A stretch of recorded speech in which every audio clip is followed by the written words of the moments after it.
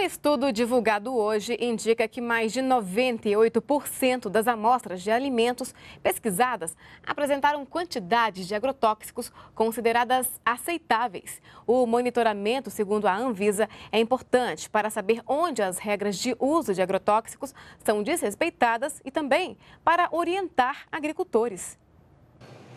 Quem compra alimentos, em geral, presta atenção à qualidade e ao preço. E muitos também se preocupam com a presença de agrotóxicos. Quando falar agrotóxico, eu fico até meio nervoso, sabe? Porque, porque é tanta coisa que a gente vê que produz o agrotóxico no organismo da gente que é brincadeira, né?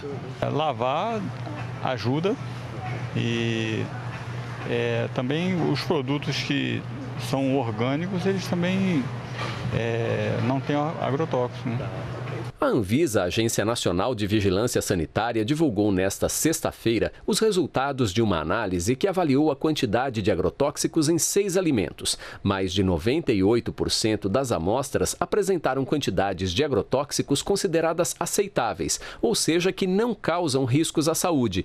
Em mais ou menos 20% das amostras foram detectados agrotóxicos não permitidos para o alimento pesquisado. Apresentaram este problema 45% das das amostras de abobrinha, 39% das de alface e 25% das de uva, mas a Anvisa informa que isso também não deve ser motivo de preocupação. Eles não trazem risco, porque as pessoas ingerem pequenas quantidades e é sempre uma, o benefício da ingestão do alimento sempre é muito maior do que o risco que ele pode trazer nessa situação. Mas a gente mesmo assim precisa conhecer e precisa divulgar para que as pessoas primeiro entendam que elas têm que variar bastante a qualidade do alimento que elas consomem, o tipo de alimento que elas consomem.